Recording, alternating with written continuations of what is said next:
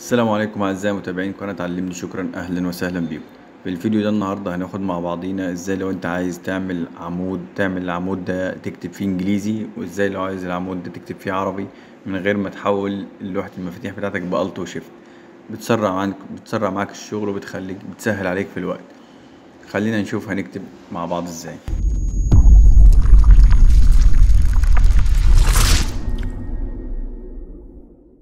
أنا هنا لو جيت مثلا كتبت في العمود ده مثلا أي اسم ورحت على بزرار التاب على العمود اللي جنبه وضغطت وعملت الت وشيفت عشان أحولها تمام. ولو ضغطت تاب تاني ورحت على الخلية العمود اللي بعده هتلاقي اللغة اتحولت تاني عربي. لو أنا عايز أكتب مثلا أكتب أي حاجة تعالى نشوف هنعملها إزاي ونخلي العمود ده يبقى ما يتكتبش فيه غير إنجليزي. أول حاجة بتيجي على العمود بتاعك الأولاني ده اللي هو تكتب فيه بالعربي وبتظلله وبتروح على القائمه الصفحة الرئيسية تيجي هنا عند فقرة. تضغط على فقرة هتظهر لك المربع الحوار ده مكتوب فيه الاتجاه من اليمين لليسار. تمام ده خليه عربي فهنخليه زي ما هو من اليمين لليسار. تضغط موافق. طيب واللي عملته ده هترجع تعمله تاني على العمود اللي انت عايزه تكتب فيه بالإنجليزي وبرضه نفس اللي عملته هترجع على فقرة.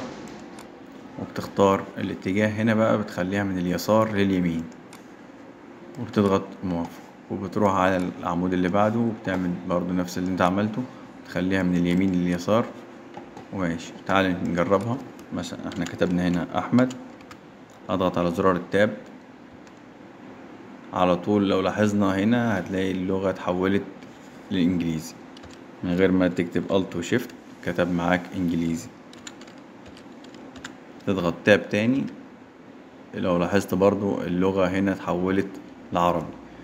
من غير ما تعمل الت وشيفت دي حركة بتسهل عليك الشغل وبتخليك أسرع في شغلك. لو أنت مثلا عندك جدول شبه كده أو عايز تكتب أي حاجة في العمود التاني ده بالإنجليزي أو تحدد أي عمود في أي مكان في الجدول.